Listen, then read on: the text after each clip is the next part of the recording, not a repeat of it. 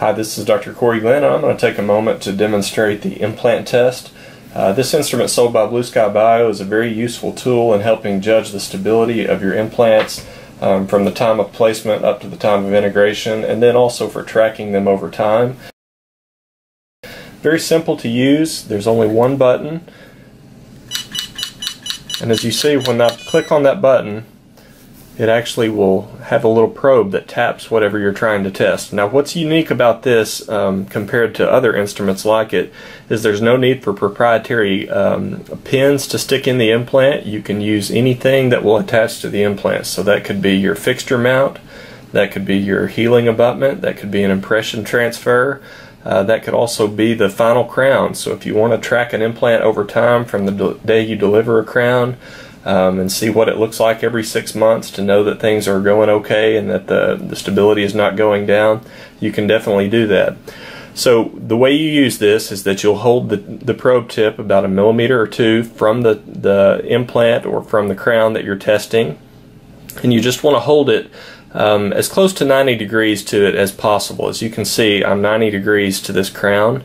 Um, you could have a variation up to about 45 degrees, for example, posterior of the mouth. It may be difficult to get access, so you might have a little bit of angulation, but try to get as close to 90 degrees as possible.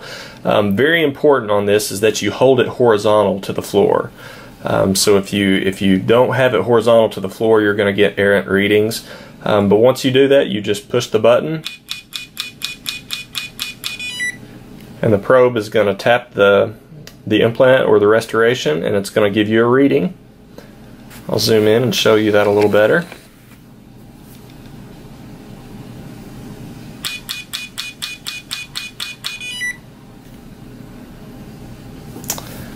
And once again, you could do this on a healing abutment.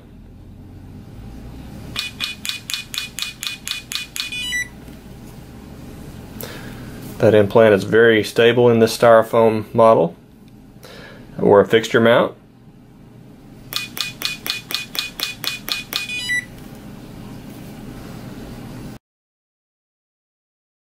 And so as you can see, you get different readings based on the stability of what you're, um, you're testing the Implantest on.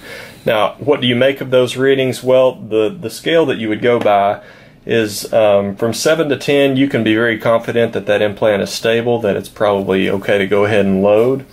From 5 to 6.9, uh, you need to take some clinical judgment on that. It could be ready to load.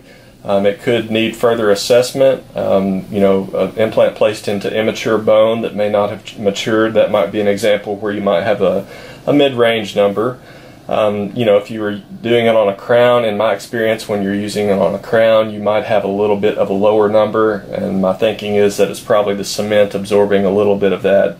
But when you get below 5 on the Implantest reading, that's a pretty sure sign that you need to stay away from loading it.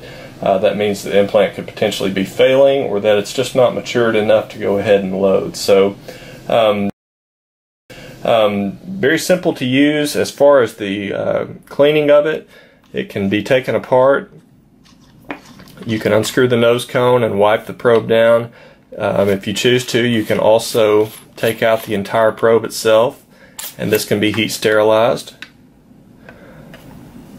and then just placed back in once you're ready to use. Uh, so great tool. Um, hope you'll find it useful. I know that I have in my practice.